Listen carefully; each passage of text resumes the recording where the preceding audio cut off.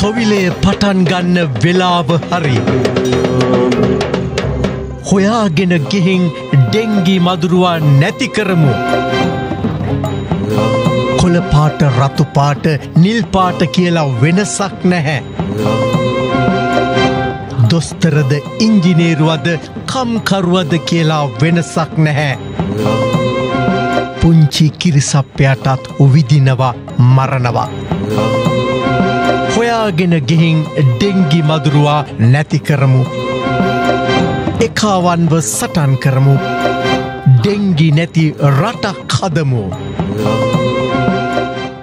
ජුනිමාසේ මේ දක්වා මෙරටින් වාර්තාාවී ඇති සමස්ත ඩෙංගුරෝගීන්ගේ සංඛ්‍යාව එක්දහස් හයිසිය එක් දෙනෙකු බව ජාතික ඩෙංගුමර්ධන ඒකකය පවසනවා. කොළඹ දිස්ත්‍රික්කෙන් ඩෙංගුරෝගීන් පන්දහස් හත්සිය අනුහත් දෙනෙකු වාර්තාාවී ඇති අතර එය ප්‍රතිශතයක් ලෙස සියට විසි එකයි දශම නවයක්. ගම්පහෙන් වාර්තාාවී ඇති සමස්ත ඩෙංගුරෝගීන්ගේ සංඛ්‍යාව දෙදහස් පන්සිය හැට හතක්. කළුතරින් එක්දහස් හාරසිය අට දෙනෙකු වාර්තාාවී ඇති බවයි ජාතික ඩෙංගුමර්ධන ඒකකය නිකුත් කළ වාර්තාවේ දැක්වෙන්නේ. යාපනයේ දිස්ත්‍රික්කෙන් ඩෙංගුරෝගීන් තුන්දහස් නවසිය හතලිස් හතර දෙනෙකු වාර්තා වී තිබෙනවා. මහනුවර දිස්ත්‍රික්කෙන් වාර්තා වී ඇති සමස්ත ඩෙංගුරෝගින්ගේ සංඛ්‍යාව දෙදහස් හැටක්. බස්නාහිර පලාතෙන් පමණක් මේ වන විට වාර්තා වී ඇති සමස්ත ඩෙංගුරෝගින්ගේ සංඛ්‍යාව නවදහස් හත්සිය හැත්තෑ දෙකක් බවයි ජාතික ඩෙංගු මර්ධන ඒකකය පවසන්නේ. වසරේ මේ දක්වා වාර්තා වී ඇති ඩෙංගු මරණ සංඛ්‍යාව නවයක්. මේ වසරේ මේ දක්වා මෙරටින් වාර්තා වී ඇති සමස්ත ඩෙංගුරෝගින් සංඛ්‍යාව විසි හයිදහස් පන්සිය විසි එකක් බවයි ජාතික ඩෙංගු මර්ධන ඒකකය නිකුත් කළ වාර්තාවේ දැක්වෙන්නේ. ඩෙංගු අධ්‍යවදානම් කලාප දහතුනක් හඳුනාගෙන තිබෙනවා.